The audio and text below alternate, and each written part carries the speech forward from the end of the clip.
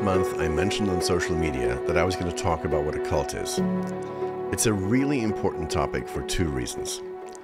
One is that some people generalize and say that everything is a cult, which is just not true. Saying this camouflages some really evil stuff going on in the world. It's kind of a blanket moral relativism.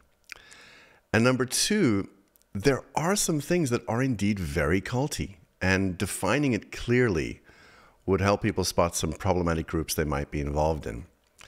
There's like relationships and families that behave like cults. There are corporations and political parties that, when properly analyzed, are indistinguishable from cults. Okay, so what is a cult? I'm going to get to that. In the space of cult education and deprogramming, there are many people that have done incredible work in this field already. Members of ICSA, the International Cultic Studies Association, Janja Lalich, Rick Ross, and Steve Hassan with his very detailed and comprehensive bite model. I'm going to put links to all their work in the show notes, or if you're on YouTube, in the description below. I think that they're all very astute people. And what I'm going to present is not a challenge to their definitions and lists, but rather my particular view on cults and cult dynamics. Remember, I am not a clinician or an academic, just someone who's been seriously deceived and figured some shit out. There are a few things that are important when going through lists like these.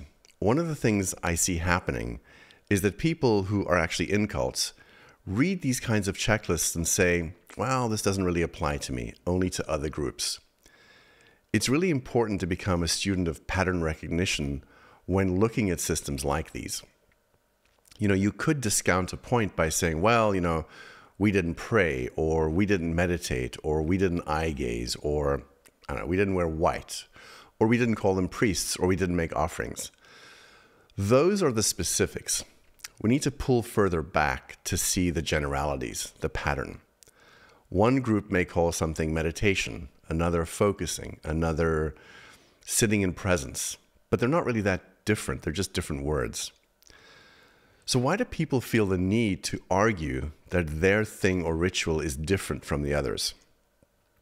I think it's because it's very hard for people to look at these lists and truly, without being emotionally vested, analyze their situation and say, yeah, you know, I might be in a group like this. This thing I'm involved in might be an abusive relationship or might be a cult.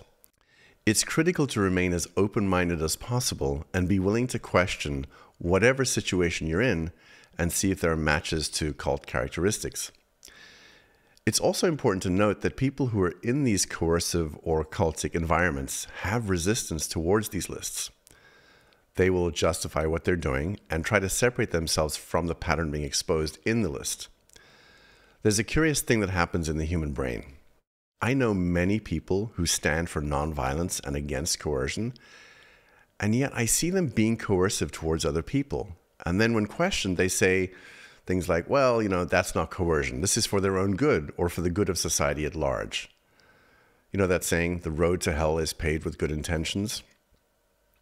There's a rather common inability of people to recognize that the thing they say is bad is the thing they're actually part of.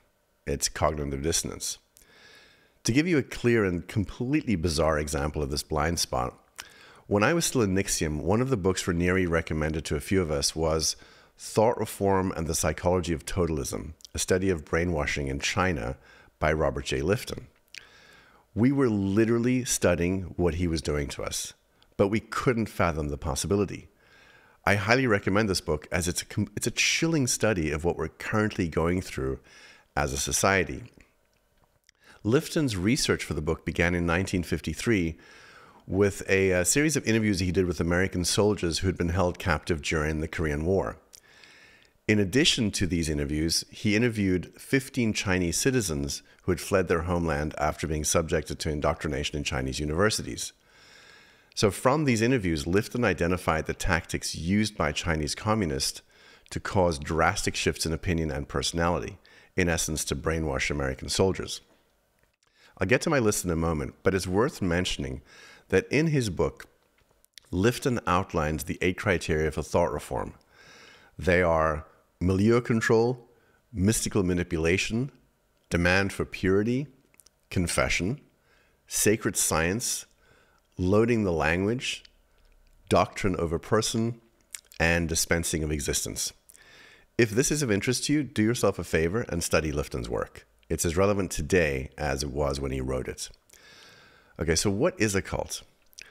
We could try and narrow it down to a very simple definition. For example, Amy Morin, LCSW, says a cult is an organized group whose purpose is to dominate cult members through psychological manipulation and pressure strategies. Cults are usually headed by a powerful leader who isolates members from the rest of society. That's actually a pretty good high level generalized definition. In my experience, a single short definition is useful, but what I'd like to do is get into the numerous characteristics that make up a cult. So I'm going to give you my list of cult characteristics and tactics. There are 25 of them. Number one, pathology.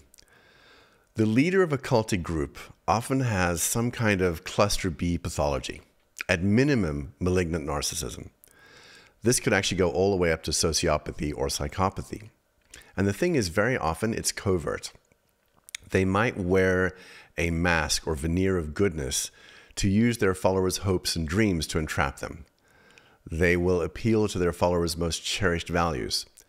But the followers are always reminded the leader is the superior being, and they have a lot to do to try and reach this, you know, greatness. The followers are left in a never-ending spiral of self-doubt, uh, shame, and low self-esteem, while the cult leader gains fuel from their adoration and obedience. Do yourself a favor, check out the work of Daniel Shaw, who wrote an amazing book called Traumatic Narcissism and Recovery Leaving the Prison of Shame and Fear. One of the things he talks about in his book is how cult leaders activate deep shame in their followers while they themselves deny and abdicate their own shame and instead take on the mantle of a supernatural being. This tends to be common to malignant narcissists in general, but Daniel Shaw relates it specifically to cult leaders and authoritarian leaders. Followers are, by and large, good, well meaning people with a conscience, and they cannot imagine their leader may not have any. They have to do all kinds of mental gymnastics to explain their leader's behavior, which is actually sadistic and Machiavellian. Critically important is waking up from this Pollyanna denial. It's the blind insistence that all other people have empathy just because you have it. An empathic person without the awareness of how all this works cannot truly make sense of a dark triad individual. But once they do, everything changes. Those of you who've seen The Vow on HBO saw my journey of waking up to who Raniere really was. I assumed the lack of emotion he displayed was indicative of him being you know, emotionally and spiritually advanced. It never occurred to me I was dealing with a malignant pathology, an empty shell of a person masquerading as a human. One of the defenses followers use is saying things like, Well, I've never seen these behaviors you're alleging. The leader has been nothing but kind to me. They may not have seen anything. Leaders with these pathologies are very strategic. They have a public persona and a private persona. Like, how many times have you heard stories about people that only abuse their spouses or families when no one's looking? It's exactly the same pattern. The other defense against this is something called betrayal blindness. The victim will get angry at the person trying to wake them up rather than at the abuser. This is because truly acknowledging the betrayal and abuse would be too much for their psyche to handle. It's easier to lash out at the person trying to tell them the truth about the leader. Number two, love bombing. Entrance into the group can be a euphoric and seemingly transcendent experience. Participants report a feeling of finally belonging, finding their purpose, uh, finding their tribe or their people. In terms of a pattern, it's a complete match to the first stage in a relationship with a narcissist. You're showered with praise, and they idealize you to the point that you become enamored with the way that they see you you'll feel a sense of love and belonging that you may have yearned for your whole life. In a cult, the existing members are on their best behavior and give the newbie this unforgettable experience of community and high vibe excitement. It's by design. This will change once the newbie is part of the group. Then the devaluation and coercion will set in. The existing members can't see what they're participating in. They're being told that, you know, once the new recruit is in, they need to get them on the path of serious growth as fast as possible. So most people will rationalize the abuse as love as the existing members believe they're doing important work and the newbie is in essence desperately holding on to that initial high. These patterns of induction are an isomorphic metaphor for the early stages of the narcissistic abuse cycle. It's all the same. It's just different scales of coercion. It could be a cult of one or a cult of millions. Number three, obedience. The leader requires absolute, unconditional obedience to themselves and the ideology. There's always some narrative as to why this should be so. Things like, in order for me to take you to enlightenment or ultimate awareness, you must relinquish your control or your insistence on self protection. You must let go of your ego. So the follower, desperate for these promises of greatness, surrenders to the psychopath. In Raniere's case, he sold the idea that slavery is freedom. Yeah, right out of 1984. The follower, by the way, does not necessarily think that they're an obedient automaton. They truly believe they have a choice. So if you were to ask them, you know, could they travel anywhere they want or associate with anyone they want, they might insist they can, but that's rarely the case. They do have some choices, you know, within an extremely narrow band of options. You know, can they serve anything other than the agenda of the cult? Absolutely not. Can they choose what branch of activity to be involved with inside the cult? To some degree, yes. This constraint is what Janja Lalich calls bounded choice in her book of the same name. Number four, infantilization. The structure of the cultic community is such that the followers are infantilized by the leader. The leader regards themselves as a kind of parent or God to all their children, and conversely, followers feel like they are children and project attributes of you know mother and father onto the leader. Not only is this prevalent in religious cults or corporations, but also you know in society at large. Many people tend to look at their leaders as these, you know, all-powerful, all-wise parental figures and feel obedient to whatever they say. Think, for example, of news anchors on television. They're seen as somehow having some special knowledge. They have the information, and they know something that we commoners don't know. It connects to a very primitive dynamic in humans. Cult leaders sell the idea that they will reparent or reprogram the followers to become great or or holy or you know whatever hogwash they're peddling. What they want to revel in is the feeling of control over their populace. It's part of their messianic complex. In order to break out of this trap, we need to individuate and grow up. And the truth is, many people have still not individuated. By the way, I'm going to be doing a course discussing the psychology involved in each of these tactics and how to resist and break free from them. If that's something you'd be interested in, sign up on my mailing list on my website, and you'll be the first to know when it goes live. All right. Number five, isolation. Just as in a relationship with a narcissistic abuser, the cultic system is designed to break down the participant so that they lose touch with friends, family, and even their own knowledge and intuition.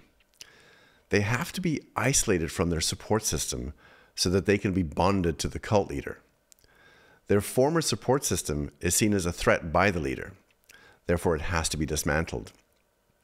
This isolation is achieved by convincing the follower that their former friends and family do not have their best interests at heart and are in fact holding them back. It's this terrible trap because usually um, friends and family are the ones that are deeply concerned and want to help. But every concern they voice becomes proof they don't approve of the follower's new life.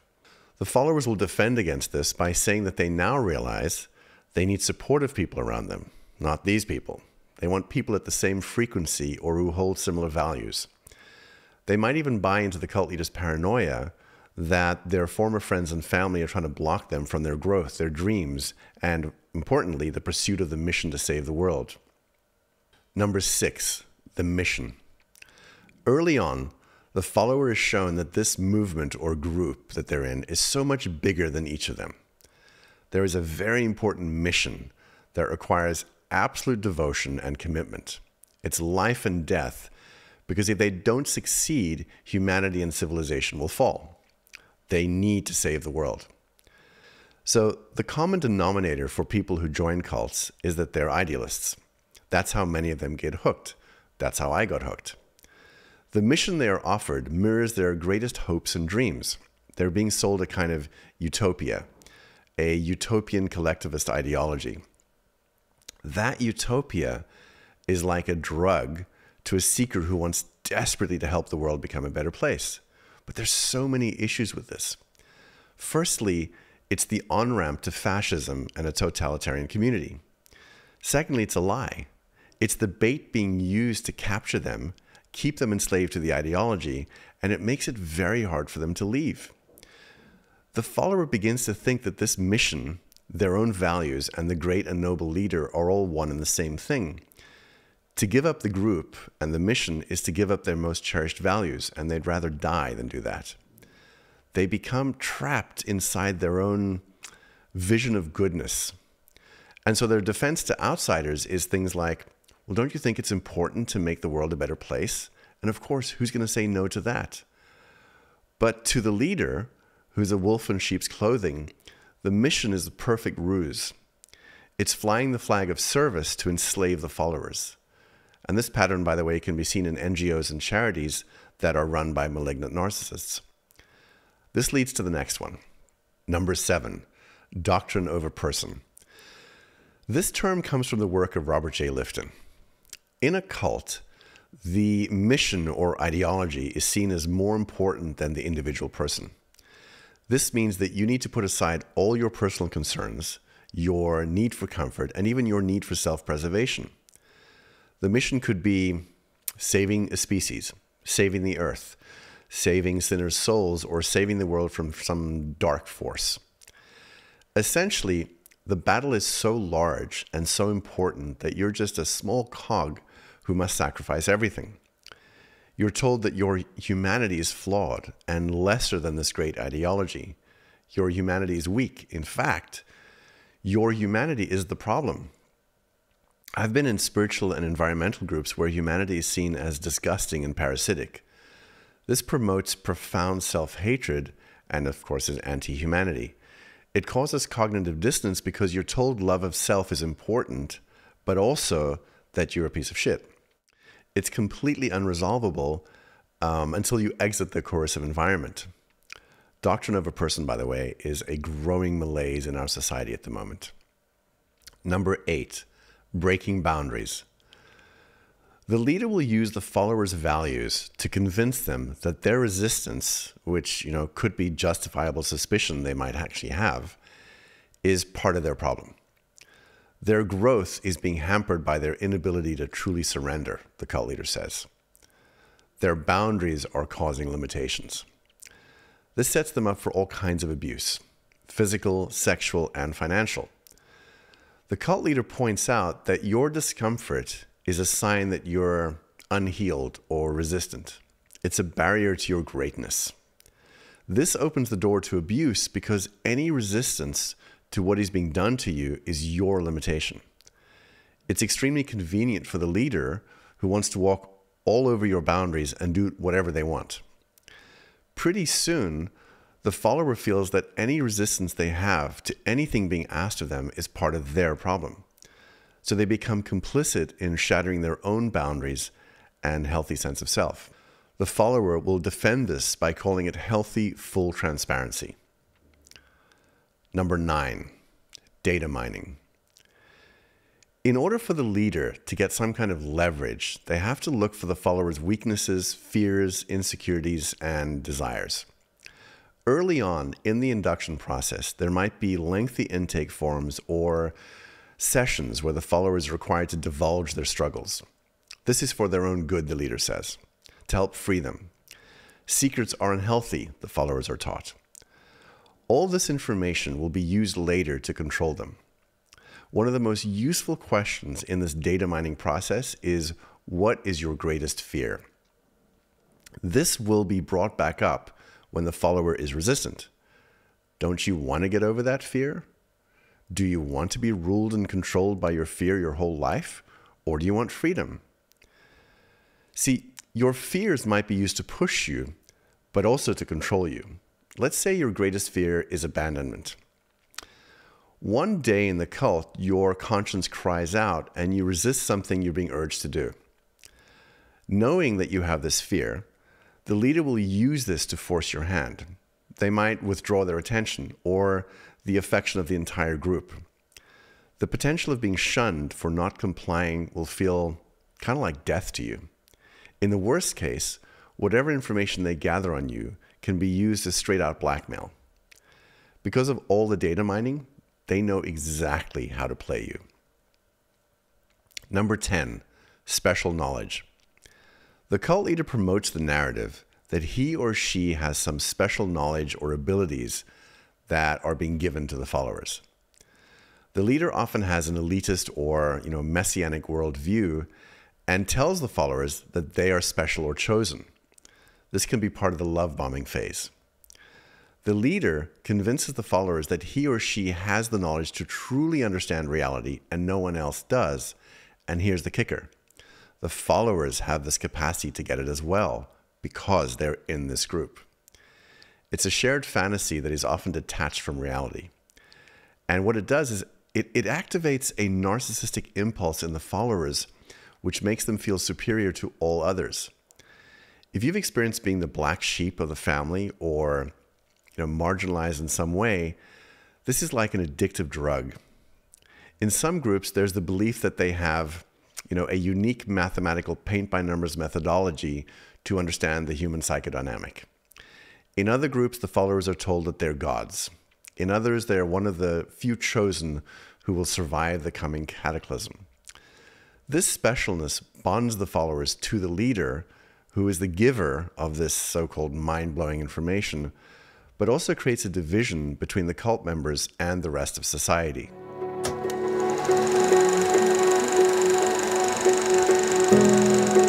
I want to take a quick break to tell you that one of the things I would love to do is put out more content about all the things that fascinate me and hopefully you. I'm on a personal mission to expose patterns of abuse and coercion and the many forms it takes at multiple scales in society. Accomplishing this endeavor takes two things time and resources. If you like what I'm doing, I would love your help in achieving this. I've started a Patreon account as a way to get support for this podcast and channel. I'll also be offering some exclusive content over there that you might enjoy. So please head over to patreon.com forward slash Mark Vicente to help support my endeavors so I can keep things going. Thank you. All right, let's continue. Number 11 Us versus Them. Fear is this powerful motivator. You can bind a group very tightly by having them unify against a common enemy, even if it's completely fabricated and false. All that matters is that the followers believe it. First step paint a picture of the enemy. This is accomplished using keywords, names, suppressive, terrorist, communist, you know, radical, subversive, anti fill in the blank. Anyone who does not believe in the ideology of the group is to be avoided and classified with these terms. And the leader may give lip service to the idea that we must unify all people and all people should be loved.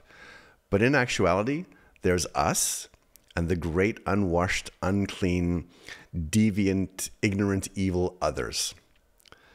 While it solidifies the followers into fervent devotees, it creates an enormous amount of stress in their psyches. They cannot successfully hold these two opposing thoughts in their mind and can become quite psychotic in their hatred of who they have been told is the enemy. On a societal level, you can see this deranged behavior in social media.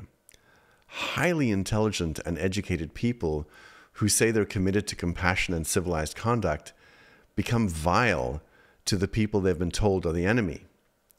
And when challenged on this, they cannot even go there. It's like it's filed away in some part of their brain they don't have access to. It takes a very strong person to admit they fell for the ruse and made grave errors in judgment. Us versus them is an incredibly important thing to understand, as it's the fuel that currently fires most, if not all, political campaigns. Just a side note in my list, I'm not going to spend time on things like hierarchical structures or the requirements to enroll others, because while those are definitely present in cults, they're also common in many industries. However, I do want to address number 12 accumulation of wealth at the expense of the followers. Cult leaders are typically obsessed with accumulating wealth and power. In order to do this, they have to keep their overhead as low as possible, and in some cases, get the wealthier followers to donate their own money to the cause. The cult leader's workforce is the devoted followers who are volunteering their time, effort, and actual life force. The cult leader will convince the volunteers that working for the mission is a great privilege and should not be looked down upon. The followers, whose you know, self esteem and self worth have already been worn down, buy in and become the unpaid workforce. The leader will accumulate financial wealth, houses, you know, cars, planes, expensive clothes, while the followers often live in abject poverty, struggling to put food on the table. The justification for this disparity is that the leader needs to be able to interact with the normal world at a very high level in order to change it, they say. They have to look good to materialistic people. So when friends and family question the follower on their poverty, the response could be something like, well, you know, money isn't everything, or materialism is the big problem in the world, or things like, would you rather me be happy or stinking rich? Because I would hope you would champion my happiness. None of these arguments make any sense. But the follower has been programmed to reject what they call materialism. The cult leader, meanwhile, embraces materialism with vigorous lust. Number 13, constantly busy. The participants or devotees are kept constantly busy with very little time to think or engage in the outside world. This can involve long hours of prayer or meditation or being kept busy with work to the point of sleep deprivation. There's new committees to address new problems, you know, impossible workloads, multiple job descriptions, endless tasks, needing to be present every time the leader wants to address their flock, uh, spaces to be cleaned and reorganized, emergency tasks that require you to drop everything, but you're still responsible for failing on the thing you had to drop. Sleep deprivation is key here. The more tired the followers are, the less cognitive function they have to rationally question stuff that just does not make sense. It keeps them docile and irrational. The followers could be required to try to solve impossible situations or just perform mindless tasks, convincing themselves that it has to have something to do with the mission. We wouldn't be asked to do it if it wasn't important, right?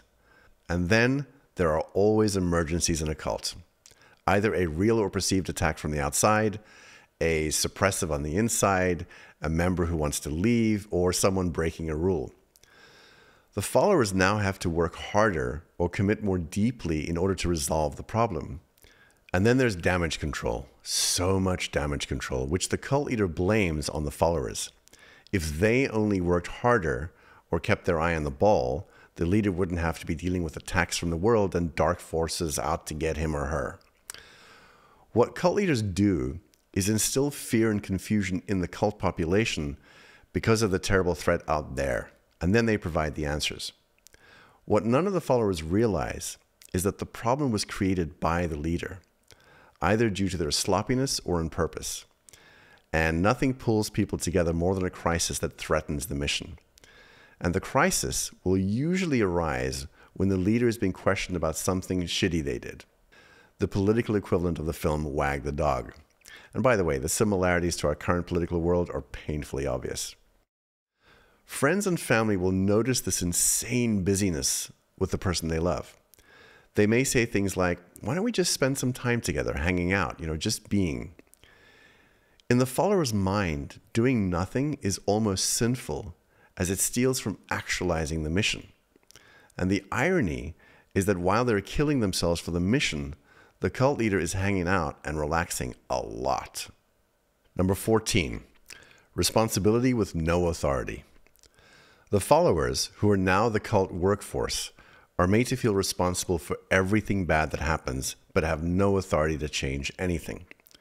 Typically, everything good that happens is caused by the leader, everything bad by the followers. The followers are told that they're not devout enough. They're having negative thoughts. They're not standing up for the leader enough. They're cowards, whatever the insult.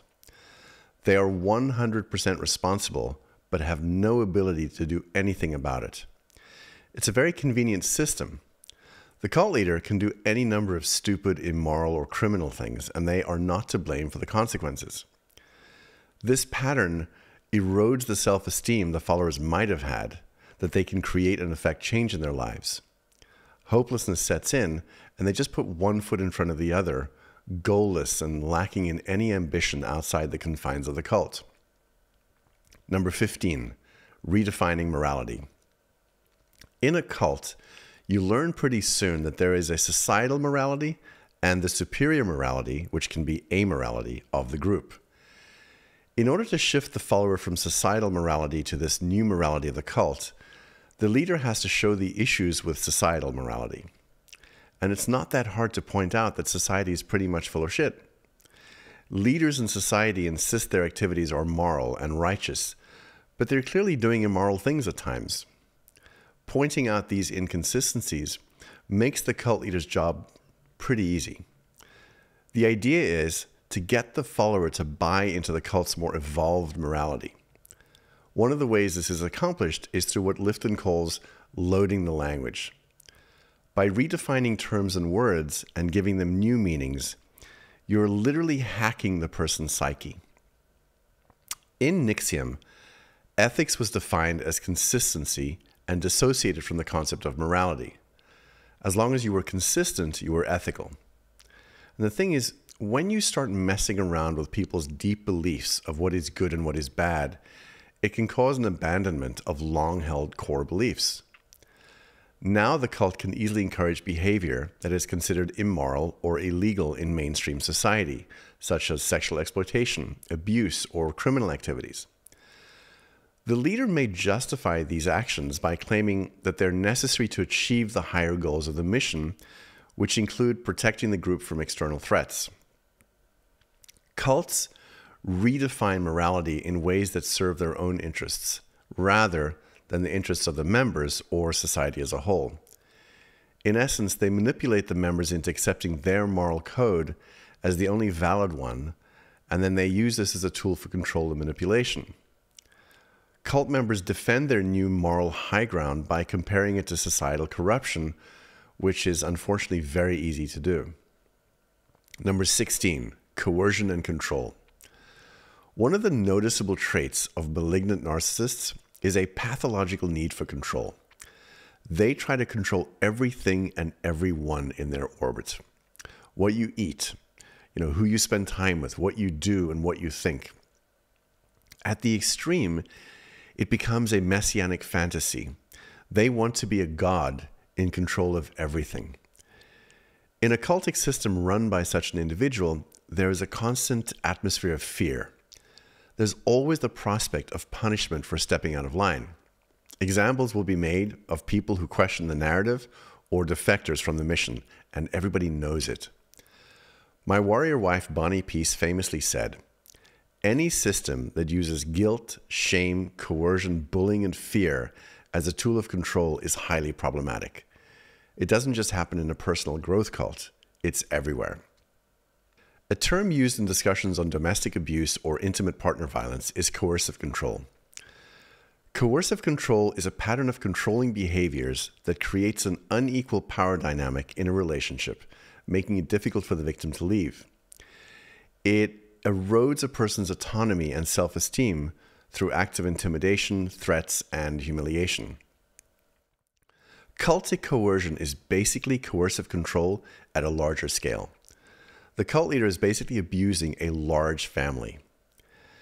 Everything and everyone is controlled and monitored, and you're punished for stepping out of line. And the thing is, coercion is a very difficult thing for people to see. Firstly, it can happen very, very slowly, and it's not clearly codified in our laws. Check out the work of the Consent Awareness Network. they're working very hard to get a definition of consent in penal codes everywhere. Their definition of consent is FGKIA. Consent is freely given, knowledgeable, informed agreement by a person with the capacity to reason. Number 17, secrecy and lies. I describe a cult as being very much like the NSA or CIA in terms of the way it handles information. Information is on a need to know basis, and there's a great deal of compartmentalization.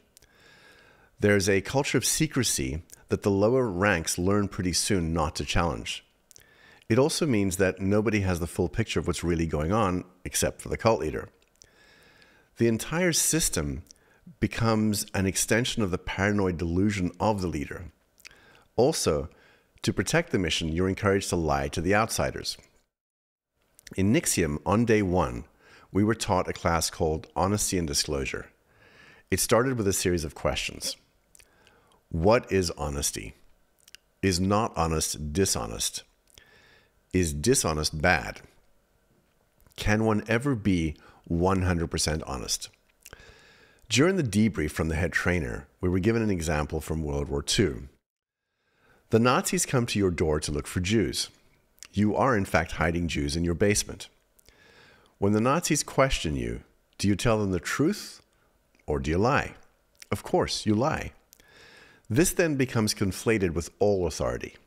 Because the cult educational model has already established that everybody outside of the system is corrupt, immoral, and likely evil, lying is justified. It's okay because it's for a higher purpose. The mission and the leader must be protected at all costs. When a family asks a follower why the secrecy and lies, the follower will state that they're an open book. Ask me anything, they say. But their responses are often rehearsed talking points and circular word salad. Number 18, spying on each other. In order for the cult leader to have their finger on the pulse of their followers, they have to create a system of reporting back up the chain of command a system where everybody checks in on everyone else. In other words, spies on everyone else. On the surface, it's called accountability or care or something that sounds benevolent. But what it really is, is a system where everybody is spying and reporting on each other. Looking back in history, this system shows up in authoritarian regimes where, for the good of the party, problematic individuals had to be reported and weeded out. This would result in public humiliation or corrective punishment. In NXIVM, a coach tree system was used to disseminate information down to the lower ranks, but it was also used to report problems up the ranks to the leader. In other cults, mentoring or healing sessions may be used to flag problems in the followers. It becomes an environment filled with fear and paranoia. You don't want to be the person who steps out of line and gets reported. When challenged by an outsider, the cult member will insist this is all about caring for others, a neighborhood watch of sorts. It's definitely not that. This then leads to number 19 confession. This one is so insidious because it utterly breaks a person down. When a follower strays from the path, in other words, you know, breaks some of the Orwellian rules, the cause of their error needs to be revealed so it won't happen again. This is framed as something that is good for the person and the system at large. A lack of transparency is seen as a flaw in the follower. Remember, you are not allowed to have boundaries. Private, unexpressed thoughts are a problem. In Maoist China, struggle sessions or denunciation rallies were violent public spectacles where people accused of being class enemies were publicly humiliated, accused, beaten, and tortured by people with whom they were close. Usually conducted at the workplace, classrooms, and auditoriums where students were pitted against their teachers. Friends and spouses were pressured to betray one another, and children were manipulated into exposing their parents. Often, out of desperation, the targeted person would confess to things they never said or did. Social media, by the way, has become the modern day equivalent of a Maoist struggle session. Confess your transgressions or else. In a cult, a system of confession is used for multiple purposes to gather secret information from the followers, to normalize not having privacy or boundaries, and to encourage self punishment and self hatred. This results in having you know, little or no self esteem and absolutely no ability to fight the system. Revealing one's innermost secrets is just part of the culture. In NXIVM, if you failed or breached, you would do a number of things. Firstly, write a detailed breach report and then a breach plan of how you would fix it. You were then required to go and apologize to all the many people your failure affected. This could also involve standing in front of the entire class doing a grand confession. In other words, I'm sorry that I'm such a piece of shit. I will try harder. Number 20, triangulation. Very common in cultic communities is that the followers are having all kinds of disputes with one another. Some of it's just normal human social behavior. Some of it is purposely instigated by the cult leader. The leader triangulates members against each other to keep them in conflict for two reasons. One is to keep them so distracted and exhausted that it wears them down. The other is to be the arbitrator and savior. In NXIVM, Raniere had everybody at each other's throats, and if begged for help, would come to arbitrate. It just so happens that many of those at each other's throats were also his lovers. He instigated jealousy on purpose. On a smaller scale, you can see triangulation used by a malignant narcissist. They turn those around them against each other, especially against their target. On a societal scale, entire political groups are riled up against each other. They're so busy fighting that it camouflages what the leader or leaders are doing. As Sun Tzu said, the supreme art of war is to subdue the enemy without fighting, but I would add, let them fight each other. Number 21, mystical science.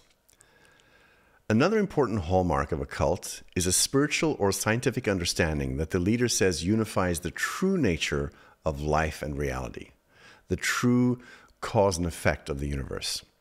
Maybe it's something like your thoughts create all reality. You are the only true architect of your life. The frequency you are vibrating at attracts similar frequencies and experiences.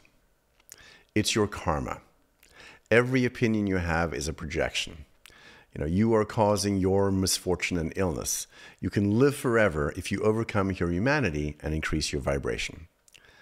Okay, so fragments of these theories might have some truth in them, but they get applied to all of reality. Now, let me clarify. This kind of thinking exists in all of society. Having these ideas as theories or musings is not the issue.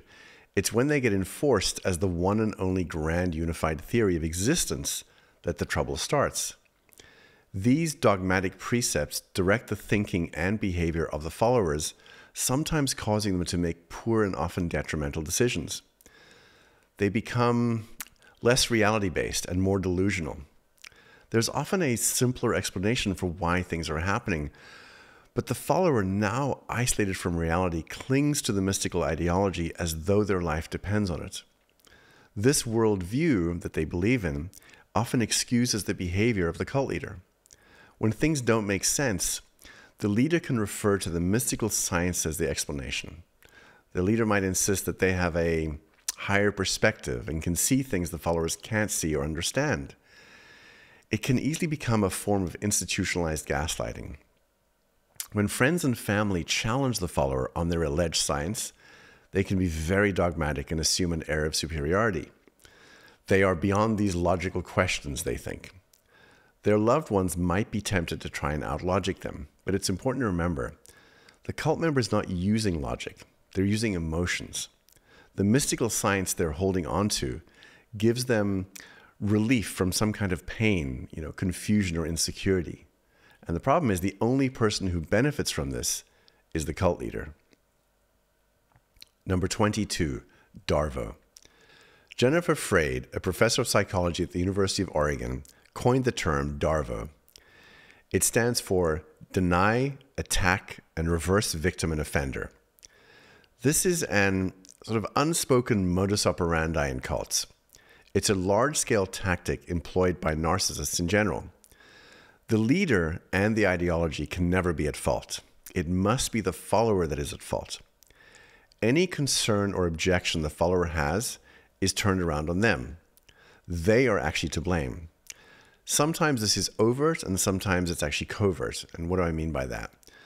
Well, sometimes this reversal is baked into the teachings.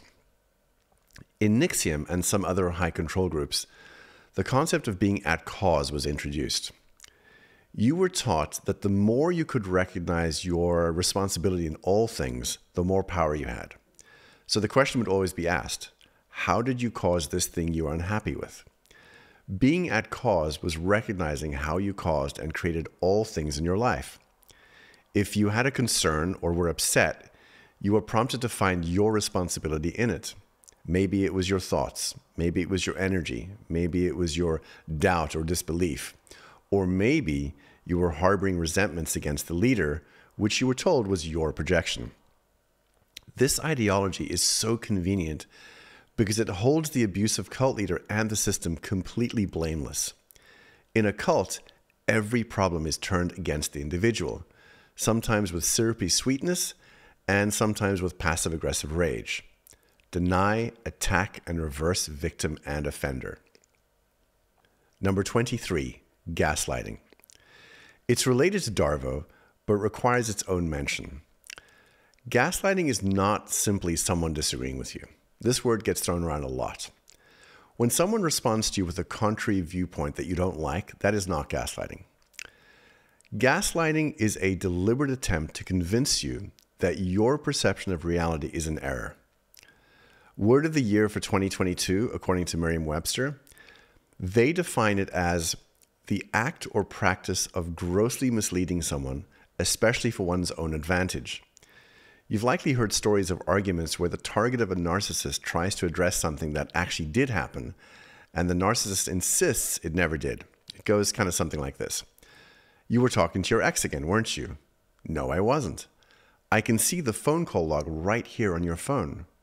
First of all, why are you looking at my phone? And secondly, why do you always get unstable when I talk to other people? So you did call her. I didn't. I think you need help. You're beginning to imagine things. Ironically, the narcissist is icy calm, and the target is getting visibly upset. This kind of dynamic is designed to have the target question their reality. Maybe they are wrong. Maybe they did imagine it. He seems so sure of himself, and it often ends in reactive abuse. In a cult, the followers may see things that are obviously problematic or immoral. The leader will then explain to them they did not see what they thought they saw. They are examining the event through their own filters and immature projections. Eventually, the followers no longer trust their own judgment and instincts. As George Orwell wrote in 1984, the party told you to reject the evidence of your eyes and your ears. It was their final, most essential command. A perfect example of this in general society is when you watch a government spokesperson for an authoritarian leader flat out lie about what is going on. They'll use doublespeak to confuse the press and the audience. If they're doing evil things, they might describe it as forwarding the cause of freedom and democracy. The recipient of this narrative might know it's a lie, but if that lie is repeated again and again, they begin to lose touch with actual reality. Number 24, information control. For the cult to maintain its control over everyone, information must be managed very carefully. There's an official narrative that is put out by the leadership, which is often a complete lie, about what is going on inside the cult and in the outside world. Think of it as state or corporate controlled media. You are only fed information that benefits those seeking control. This narrative is used to maintain the us versus them mentality, but also to keep the followers away from any sources of information that would be a threat to the cult leader's control. There is approved information that everybody is fed 24 7, and then the forbidden other information. All other sources are to be feared, excluded, hated, ridiculed, and forbidden. If you dare bring up other sources of information, you will experience consequences. You are forbidden to speak freely and openly about any concerns you have with the practices of the leader or the organization. In other words, it's censorship. Now, here's an interesting thing the people who are on board with the narrative do not see any censorship. They're clueless. Because they believe the narrative so ardently, they never bump up against its boundaries. They have no idea why the fringe lunatics are causing trouble and being so dramatic. In NXIVM, Raniere would talk to us about being in a war against hate, a war against people who were promoting hate. It turns out those people promoting so called hate were trying to warn us about him.